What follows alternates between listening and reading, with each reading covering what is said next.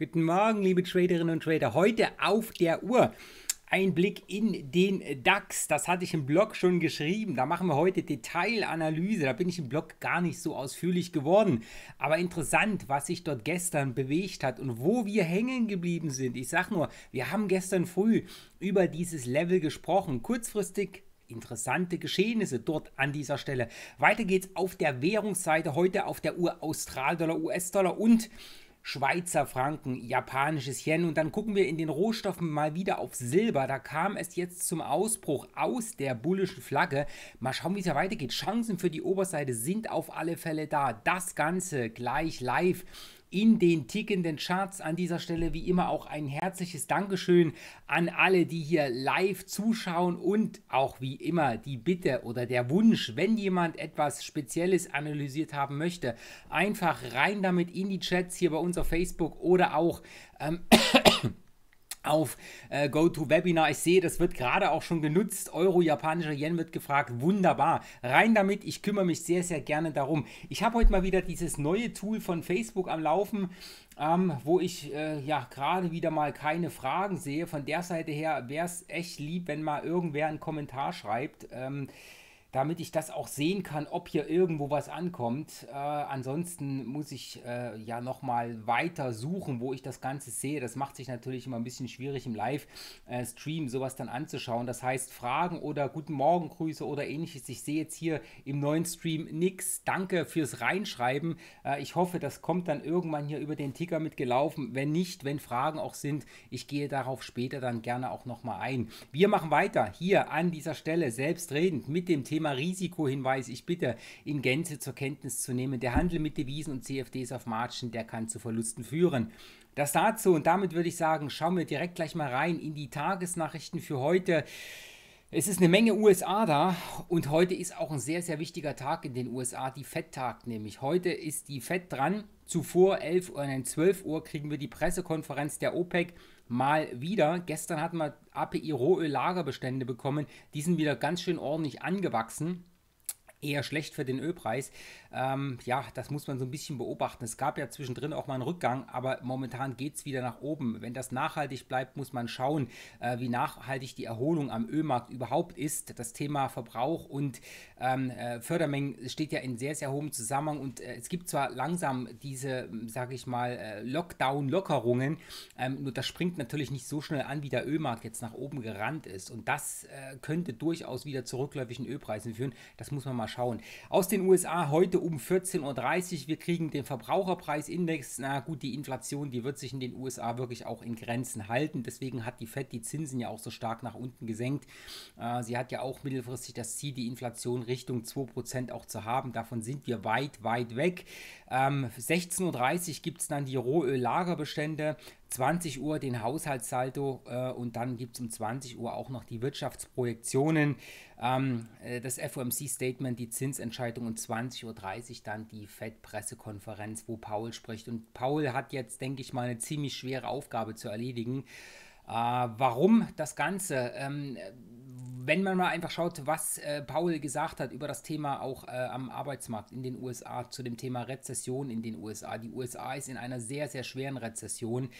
Ähm, Paul hat, äh, sage ich mal, dort ein sehr, sehr düsteres Bild gezeichnet, ähm, auch mit Begründung auf diese hohe Arbeitslosenquote. Ich meine, wir haben, wenn ich das richtig gelesen habe, äh, von der Lesweise her momentan 25 äh, Millionen Arbeitslose ähm, in den USA das ist schon äh, eine Hausnummer, die äh, schon massive wirtschaftliche Bedeutung für die USA hat. Äh, ja, und was haben wir letzte Woche gesehen, ähm, wenn wir uns den Arbeitsmarktbericht in den USA angucken, die Non-Farm Payrolls? Da gab es letzte Woche einen Zuwachs an Stellen. Das heißt, es wurden mehr Stellen geschaffen. Das heißt, der Arbeitsmarkt ist vielleicht doch nicht ähm, so träge in, in, im, im, Recovery. Der kommt wahrscheinlich schneller zurück, als äh, auch die FED das erwartet hat.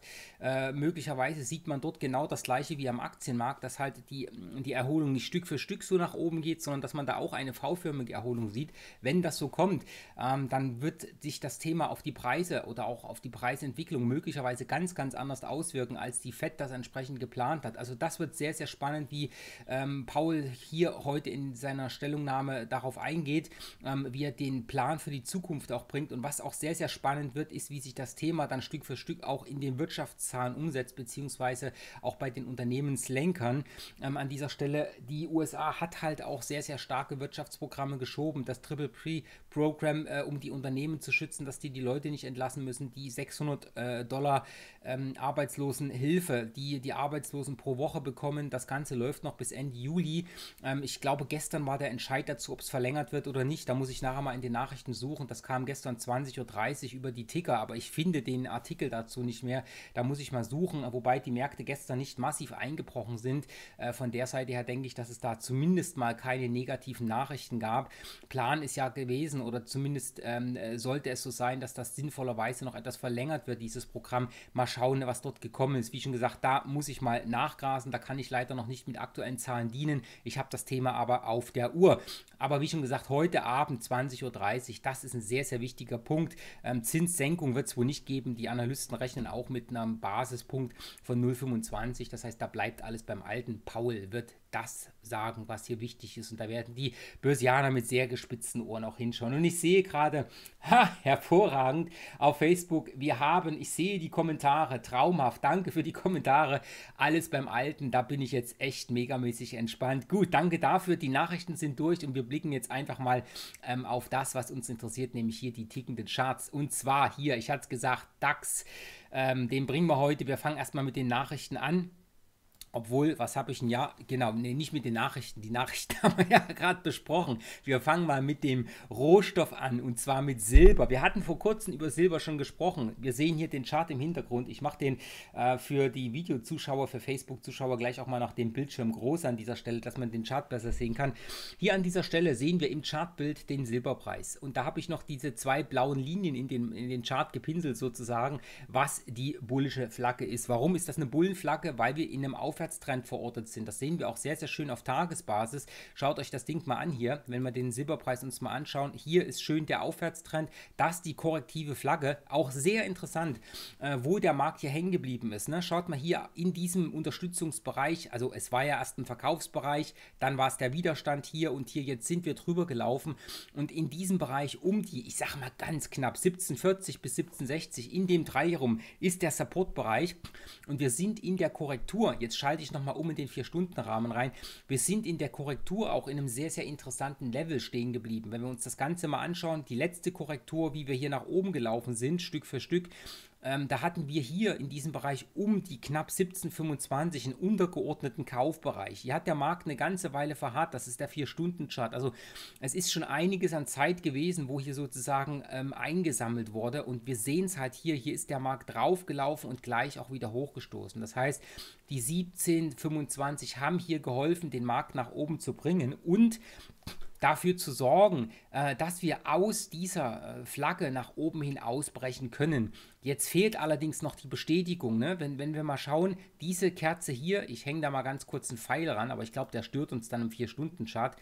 Diese Kerze hier, dieses Teil, das ist die Umkehrkerze. Das ist die Ausbruchskerze und da kommt es drauf an. Die brauchen wir jetzt noch bestätigt. So, nun ist das Ganze beim Silber immer so. In der letzten Zeit war Silber mit solchen Bestätigungen auch immer mal ein bisschen lahm. Ja, das haben wir auch beim letzten Mal gesehen, wenn wir uns das mal anschauen, aus der letzten Korrektur rausgekommen sind. Schaut mal hier, das war das Umkehrsignal aus der letzten Korrektur. Und dann statt richtig gleich mit Schmackes nach oben zu laufen, dasselbe Bild. Der nächste Tag kein Gang drüber. Der übernächste Tag mal kurz oben angelupft, wieder rüber Tag. Und dann drei Tage später hat der Markt sich wirklich was gefasst, ist nach oben gelaufen von diesem kleinen Support-Level hier bei 1688 und hat dann den Weg auf 1840 beschritten. Es ist träge, aber es lohnt sich. Das heißt, hier kann man sich gemütlich auf die Lauer legen und im 4-Stunden-Chart heißt das, was brauchen wir? Nummer eins, für die Bestätigung der Kerze, die wir hier gesehen haben, ähm, auf Tagesbasis, müssen wir natürlich erstmal hier oben über dieses Level laufen, beziehungsweise, wartet mal, jetzt muss ich mal kurz im Tageschart schauen, dass ich sehe, ja genau richtig, das richtige Level. Also hier oben drüber grob über den Daumen um die 17,80 Dollar. Da müssen wir drüber. Dann haben wir hier in der Stunde auch einen Trend nach oben laufen. Das heißt, wir haben dann wieder einen Aufwärtstrend und dann optimalerweise natürlich auch noch das Trendtief dieser Abwärtskorrekturphase rausnehmen. Das haben wir hier liegen. Schaut mal, das hier ist der Trend nach unten und der hat hier oben bei 17,85 das Hoch liegen und da müssten wir dann optimalerweise auch noch drüber. Das wird auch passieren, wenn wir nach oben laufen. Heißt also, hier ist es jetzt megamäßig interessant zu sehen. Erstens, lasst uns einen Trend entstehen hier in der kleineren Zeiteinheit über 1780 und danach dieses Zwischenhoch rauswuppen und dann können wir uns nach oben orientieren. Anlaufpunkte auf der Oberseite Richtung 1740, da müssen wir noch so ein bisschen aufpassen, hier oben um die, äh, was haben wir hier, 1808 in etwa, das war hier untergeordnet so ein kleiner Verkaufsbereich, das kommt auch von hier oben, dieser Trendbruchbereich, beziehungsweise als wir hier dann unten reingelaufen sind und sich der Trend gebildet hat, diese Marke, die sollte ein bisschen Beachtung finden, würde mich im Silber nicht wundern, wenn es da etwas zäher wird, aber Ansonsten, wir sind Silber im Aufwärtstrend und der Trend setzt sich nun mal oft eher fort, als dass er zusammenbricht und mit einer wirtschaftlichen Erholung könnte Silber hier auch weiter unter die Arme gegriffen werden, sodass die Oberseite definitiv da ist. Prallen wir allerdings ab, das heißt, schafft es der Markt nicht über die 1785, dann können wir uns relativ flott auf der Unterseite orientieren. Also das ist für die kurzfristigen Trader durchaus interessant, einen Abprall von hier oben zu sehen. Und wenn wir den Abprall sehen, dann müssen wir mal schauen, im etwas größeren Bild haben wir hier natürlich den Laufbereich unten um die 1725, beziehungsweise dann ist da noch Luft unten bis hier rein in, den, in, den, in das Trendkorrekturtief des übergeordneten Aufwärtstrend. Das haben wir bei 1672 stehen. Dann hat sich inzwischen allerdings auch schon wieder ein Gegentrend gebildet und dann haben wir hier auch eine, eine astreine SKS liegen. Also das wäre dann ein sehr, sehr negatives Bild. Kann aber alles passieren, deswegen haben wir es mit auf der Uhr.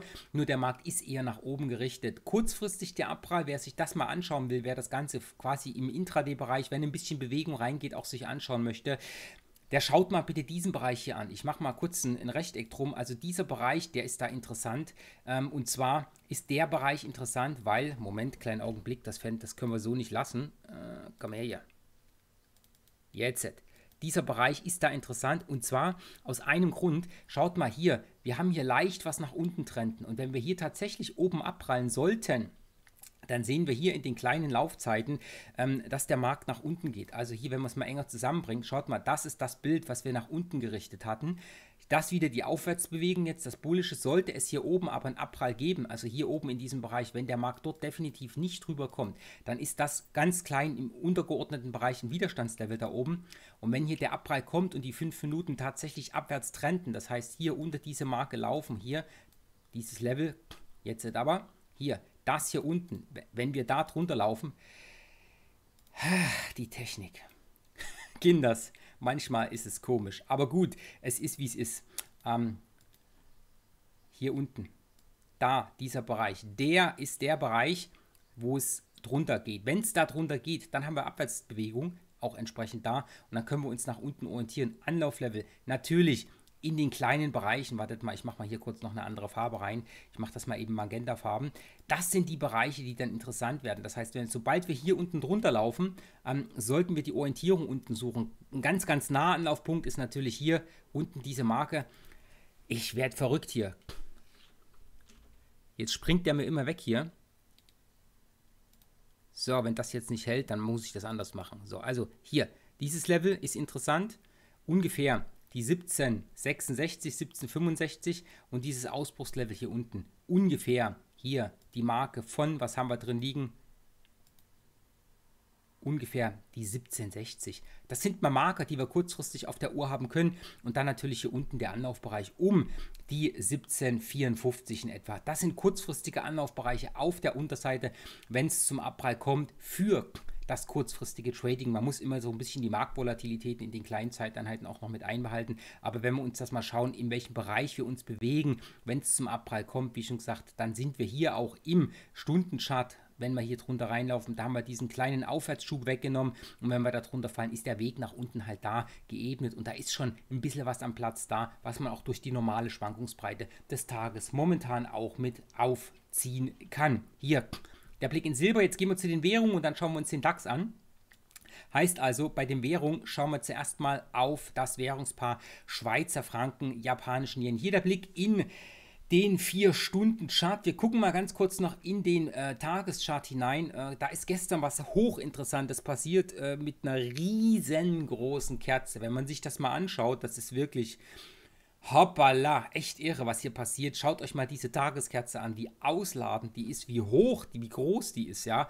Äh, die hat oben den Deckel drauf ganz knapp um die 113,60. Unten hat es tief gehabt bei 112,600. Und jetzt auch die Tatsache, wo hat sie gedreht? Es ist immer wieder das gleiche Bild. Jemand, der eng am Rechner sitzt, kann sich diese Level raussuchen und bei Umkehrsituationen dort direkt den Rückschnapper in Richtung der übergeordneten Aufwärtsdynamik sehen. Weil hier, wenn wir uns den Tag mal anschauen, schaut mal, ich mache mal kurz den Lower Timeframe rein, wir sind verortet in einem Aufwärtstrend. Ja? Das heißt, all das, was nach oben geht, läuft in Richtung der übergeordneten Zeiteinheit. Wenn man jetzt mal in die Stunde oder den 4-Stunden-Chart oder noch kleiner dann entsprechend schaut, das ist schon positiv Dynamik. Und jetzt kommt es wirklich darauf an, wie geht es weiter, weil diese Kerze konnte sich unten nicht halten, konnte sich oben aber auch nicht halten. Das heißt, so ein richtiges Umkehrsignal aus der runtergelaufenen Korrektur ist das Ding jetzt noch nicht. Aber es ist natürlich sehr interessant, wo wir stehen, was wir machen. Warum? Hier, schaut euch das Ganze mal an. Wir sind hier verortet, selbstverständlich in dem Abwärtstrend. Das ist der kleine Abwärtstrend hier, also die Korrektur sozusagen des übergeordneten Aufwärtsarms. Hier ist der Aufwärtsarm. Das ist jetzt die Korrektur, der Korrekturarm an dieser Stelle. Und hier wird es jetzt wirklich sehr, sehr interessant.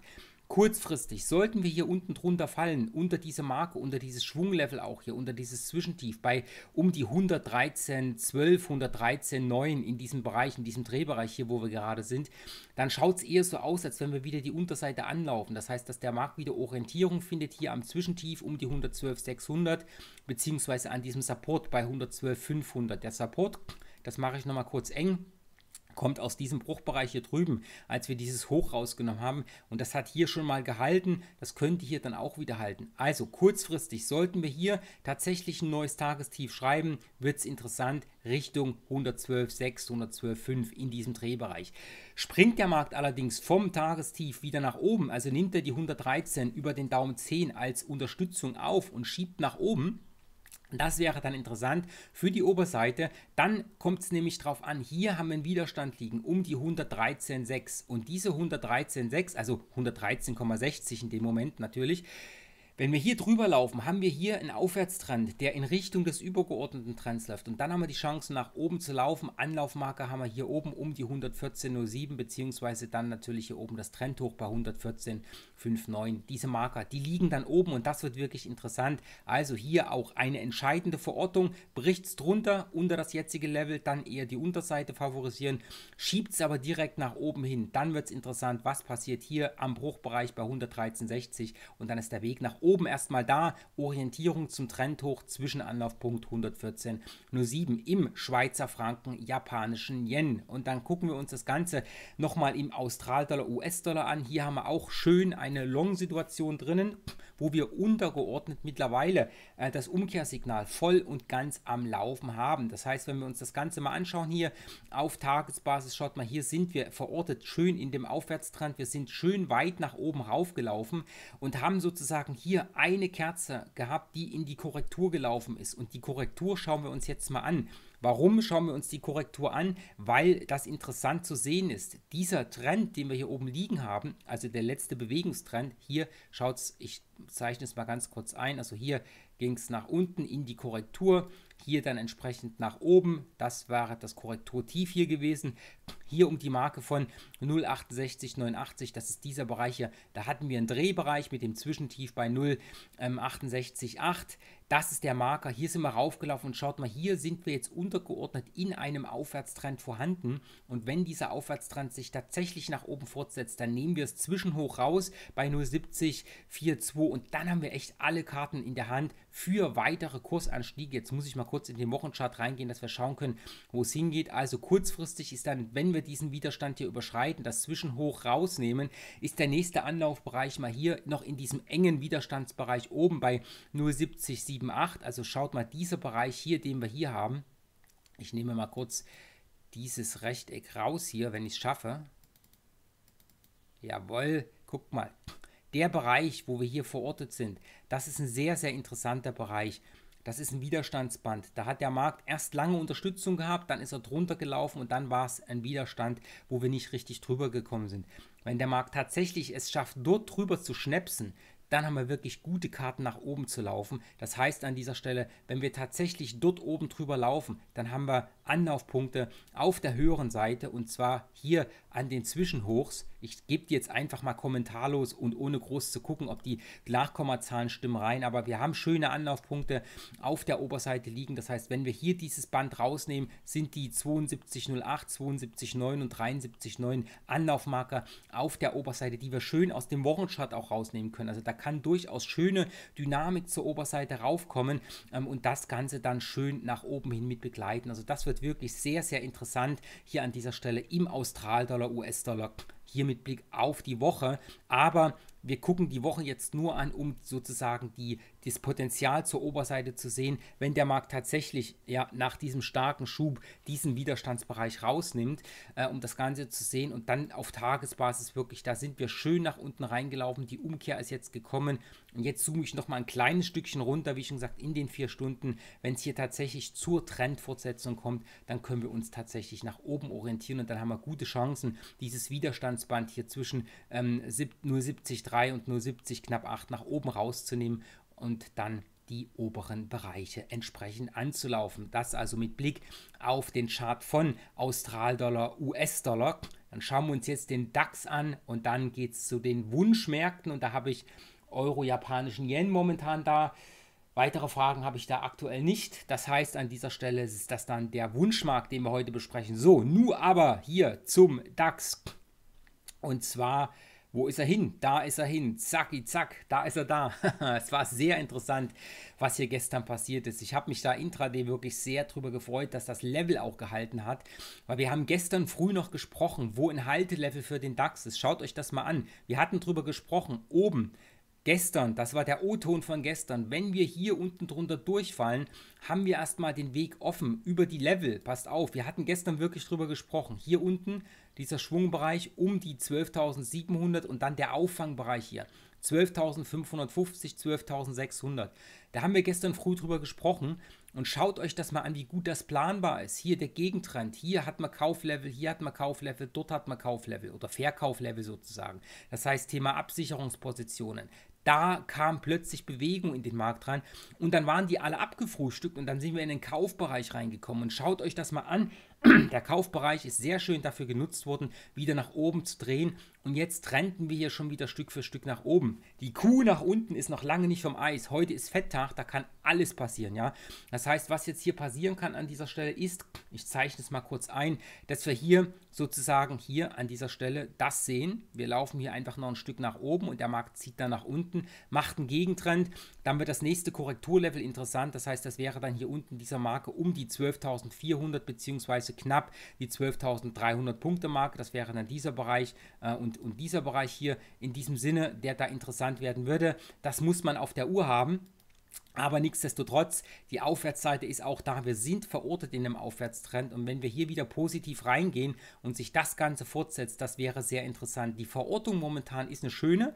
Ähm, und das wird jetzt sehr, sehr spannend zu sehen, was passiert. Hier können wir nämlich relativ schnell sehen, ob wir latente Stärke oder latente Schwäche vorhanden haben. Warum? Das Level, wo wir hier gerade verortet sind, die knapp 12.740 Zähler, ist der Knackpunkt momentan. Laufen wir drüber, gehen wir über den untergeordneten Widerstand wieder rein und dann haben wir die Chance, oben rauf zu laufen auf die 12.900 bis 13.000 Punkte Marke.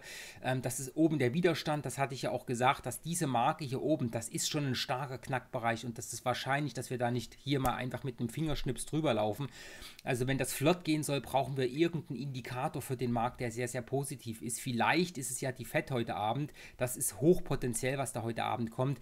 Ansonsten, wie schon gesagt, die 13.000 Punkte Marke haben wir oben drin liegen und wenn die positive Dynamik über diese Zwischenlinie hier oben drüber geht, das wäre dann wirklich sehr, sehr positiv zu sehen und das sehr, sehr bullisch. Ansonsten, wenn wir drunter durchfallen, dann haben wir im Kleinen die Anlaufpunkte wieder liegen. Also für die kurzfristigen Trader einfach mal schauen, was passiert hier unten drunter, unter diesem Punkt. Also hier haben wir dann die Anlauflevel 12.613, 14 in diesem Bereich. Hier haben wir einen kleinen Drehbereich 12.580.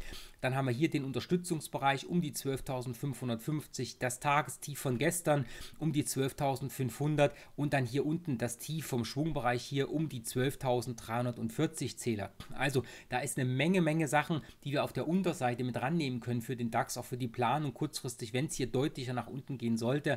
Und wie schon gesagt, wenn dieser Bereich hier rausgenommen wird um die 12.500, dann sieht das eher so aus, dass wir doch weitere Dynamik nach unten sehen, dass wir eine deutlichere Korrektur zu dem sehen, was wir im Vorfeld an Anstiegen hatten. Und das ist das, was wir spielen. Also der DAX ist extrem interessant und mit vielen, vielen guten Chancen gespickt, sowohl auf der Oberseite als auch auf der Unterseite. Und damit gehen wir jetzt noch zum Wunschmarkt. Euro, japanischer Yen wurde hier gefragt und den schauen wir uns natürlich an. Hier wurde ich gefragt, wie ich den einschätze. Wenn wir uns das Ganze hier mal auf der Tagesbasis anschauen wollen, ich schätze Euro, japanischen Yen mittlerweile etwas bullisch an. Also hier an dieser Seite, wenn wir uns mal ganz kurz etwas zusammenraffen, hoppala, raffen, nicht größer machen, ähm, wir sind hier mittlerweile endlich aus dieser endlosen Seitwärtsphase auch ausgebrochen. Das heißt, wir hatten ja hier sozusagen oben lange Zeit den Deckel drauf. Schaut mal hier dieser Drehbereich oben um die 100, was haben wir, 122, 65 haben wir hier oben drüber liegen. Es hat ewig gedauert, gefühlt ewig, bis wir da wirklich ordentlich drüber gekommen sind. Wir sind hier unten in den Aufwärtstrend reingegangen, haben oben alles rausgenommen und ich finde jetzt im euro-japanischen Yen die Chance nach oben schon gut vorhanden, weil wir in der Aufwärtsdynamik verortet sind und das Korrekturmuster mir an dieser Stelle auch relativ gut gefällt. Das heißt, wenn wir uns das mal anschauen, Schaut mal, wir sind hier rangelaufen nach unten hin und wir sind jetzt hier in so einer Art äh, bullischer Flagge. Also hier dieser Trendkanal, den wir hier haben. Ich skizziere den einfach mal ganz kurz. Ähm, hier an dieser Stelle. Also schaut mal, das hier ist der Trendkanal, der hier so ein bisschen nach unten läuft wir sind in einem guten Level auch angekommen hier an dieser Stelle. Das heißt, wir sind hier unten um die 121,2 sind wir erstmal unterstützt. Das ist ein gutes Kauflevel hier. Ähm, da hat der Markt ja hier kurzfristig gedreht. Hier ist er gestern auch wieder hochgelaufen. Es wäre jetzt natürlich interessant zu sehen, wenn wir hochgehen. Die potenzielle Korrekturausweitung ist natürlich auch da. Da kommt es so ein bisschen auf die 121,2 an. Sollten wir da drunter laufen, wir sehen es halt blöderweise. Es ist halt viel, viel Luft nach unten, weil die Schwankungsbreite so groß gewesen ist. Also diese massive Dynamik dieser letzten Bewegung gibt uns halt auch das Potenzial für eine tiefe Korrektur. Deswegen schauen wir uns das mal eben kurz hier im 4-Stunden-Chart mit an.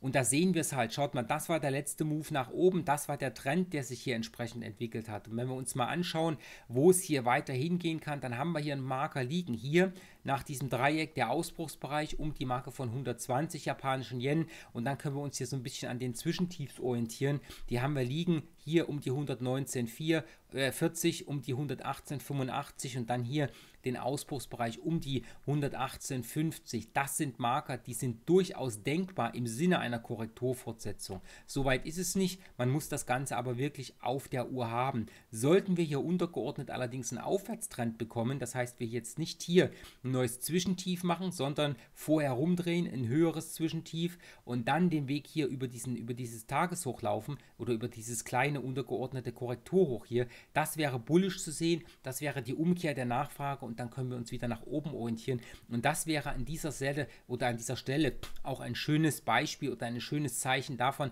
dass der Markt auch wieder mit der Stärke zurückkehrt und dieses alte Ausbruchslevel hier direkt wieder zurückerobern möchte, das wäre schon mal ein Zeichen. Momentan sieht es noch nicht so aus, ja, wir sehen es, die Kerze taucht wieder ordentlich ab. Es ist eine Gewinnmitnahmekerze, kurzfristig wurden Gewinne mitgenommen und der Markt läuft nach unten. Aber wenn das wieder dreht nach oben hin, dann haben wir schon die Chancen hier raufzulaufen. Das heißt, wichtiger Marker wäre das Tagestief von gestern. Wenn wir das nicht unterschreiten, wäre das erstmal ein bisschen positiv zu sehen.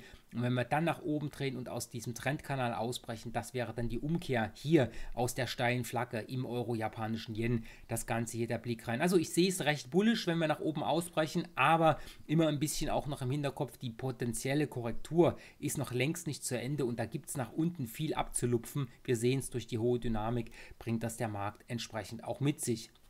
Das ist der Blick in Euro, japanischen Yen. So, jetzt checke ich nochmal kurz die Nachrichten. Facebook bringt keine neuen Nachrichten. Auf GoToWebinar auch keine neuen Fragen. Dann sage ich an dieser Stelle einen herzlichen Dank fürs Zuschauen. Morgen wieder 8.30 Uhr die Einladung reinzuschalten hier live in den Morning Screen der Märkte mit ein paar Handelsideen. Gerne auch die Zeit für die Wunschmärkte. Den Blog-Eintrag gibt es vorher. Ansonsten alle einen guten Trading-Tag und bis morgen. Tschüss. Und natürlich nicht vergessen, danke fürs Zuschauen.